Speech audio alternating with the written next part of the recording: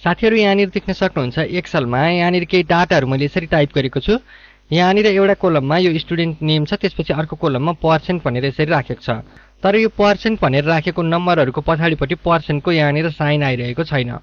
अब यो प्रत्येकमा हामीले पर्सेन्टको साइन राख्नुपर्ने छ अब त्यसको लागि यहाँनिर मैले यसरी सिलेक्ट गरेर यहाँनिर यो पर्सेन्टको साइनमा यसरी क्लिक गरिदिएँ भने बस्छ त बस्दैन यो मिलेर आउँदैन।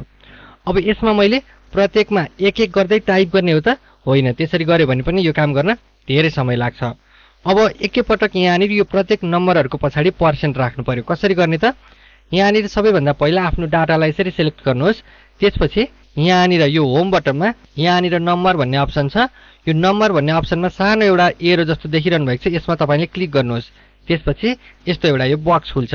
यदि तपाईँले चाहिँ यहाँनिर नम्बर पनि भेटाउनु भयो भने एरो पनि देख्नु भएन भने तपाईँले आफ्नो डाटा सेलेक्ट गर्नुहोस् र किबोर्डमा कन्ट्रोलसँग वान प्रेस गर्नुहोस्।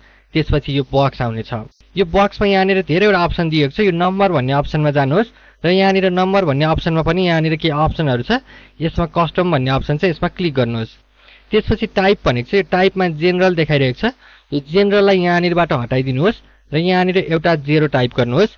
त्यसपछि एउटा ब्याक स्ल्यास टाइप गर्नुहोस्। र यहाँनिर यो पर्सेन्टको साइनलाई यसरी टाइप गर्नुहोस्। यसरी जेरो ब्याक स्ल्यास र पर्सेन्ट टाइप गरिसकेपछि अब ओके गरिदिनुहोस्। यहाँनिर देख्न सक्नुहुन्छ यो सबै नम्बरहरूको पछाडि यहाँनिर पर्सेन्ट आएर बसिसकेको छ। यस्तो किसिमबाट तपाईँले सजिलैसँग एक्सलमा कुनै पनि नम्बरहरूको पछाडि पर्सेन्ट राख्नु पर्यो भने एकैपटक राख्न सक्नुहुन्छ।